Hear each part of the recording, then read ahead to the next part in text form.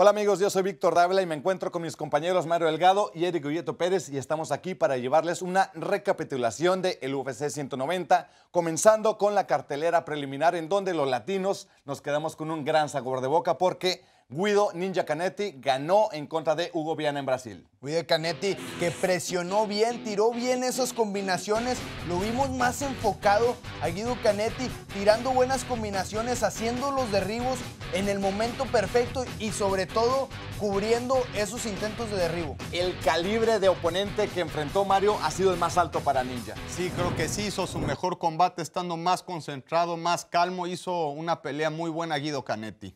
Y pasando ahora a la cartelera principal, hubo un choque de leyendas. Fue una revancha que se dio el 2005 en el Pride FC. Hoy fue en el octágono del UFC entre Mauricio Shogun Rua y Rogero Nogueira. ¿Qué pelea que dio Shogun Rua esta noche, Mario? Sí, un gran combate que parecía que como en el primer compromiso iba a finalizar.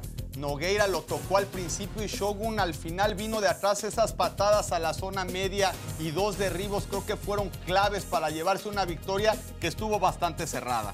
Creo que la presión con las patadas y como tú decías, el derribo y la posición, ya en el tercer asalto se inclinó la balanza para Shogun Rua. Así es. Y después de eso llegamos a la pelea estelar en una sorpresa. Pues que no fue sorpresa porque Ronda Rousey si algo tiene es que nos sorprende cada vez y decíamos, bueno, va a haber sorpresa, pero no sabemos de qué forma y lo hizo ver fácil, pero es dificilísimo conseguir eso, güey. Lo hizo ver muy fácil y sobre todo la evolución que ha tenido Ronda Rousey con ese boxeo, bastante combinaciones muy rápidas y llevando al suelo y no con judo, con un golpe a su oponente. Tenía un objetivo, Mario, que era demostrar que no solamente es buena para el judo, que no solamente es buena para el jiu-jitsu, sino que el boxeo es otra de sus armas principales ahora. En todos los ámbitos, también con la rodilla la lastimó y con los golpes se mostró muy superior. Definitivamente no hay quien pare a Ronda Rousey en la actualidad en esta división.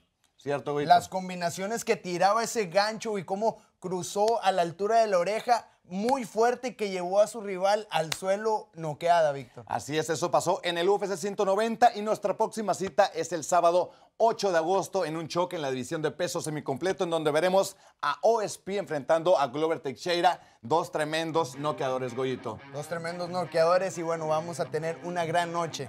Sí, el mismo San Cruz que noqueó a Shogun Rua lo veremos en esa pelea. Así es que amigos, los esperamos el próximo sábado 8 de agosto. Hasta la próxima.